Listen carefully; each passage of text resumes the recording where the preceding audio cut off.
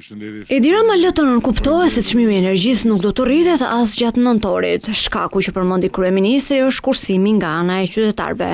Por në disa fjalime me qytetarë në qarkun e Dibrës, ai shkaktoi konfuzion, pasi disa herë përmendi se çmimi i energjisë është rritur, nga dyzet e dy në dyzet e katër lekë. Pashë sot që ERE kishte nxjerrë një çmim tjetër, 44 lekë, nga 42. Pra, prapë është i miksuar. Megjithatë ne do vazhdojmë ta bëjmë këtë gjë, të bindur që kjo është gjë e duhur. Qoftë për ë uh, familjarët, qoftë për çdo biznes të vogël.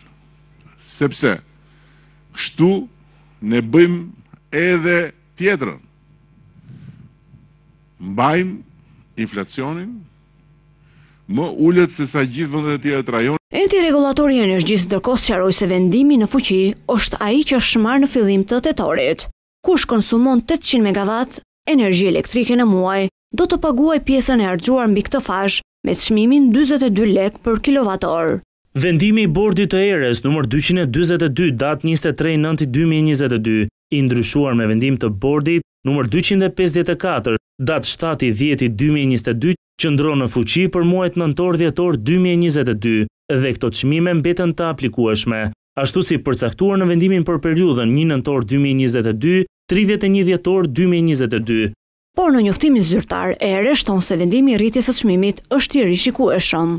Çmimi i furnizimit me energji elektrike për konsumatorët që konsumojnë mbi fashën e konsumit tetëqind kilovat do të mbetet objekt rishikimi periodik. Ndërkohë ministrja e Energjisë Belinda Balluku, duke reaguar për ERE, sqaroi se vendimi për rritje apo jo të çmimit i përket qeverisë. Ajo theksoi se gjatë këtij muaji shqiptarët kanë kursyer energji dhe gjithashtu pritshmëria është që në fillim të nëntorit të ketë reshje shiu, gjë që sipas saj do të sjellë mosaplikimin e rritjes së çmimit as gjatë muajit nëntor.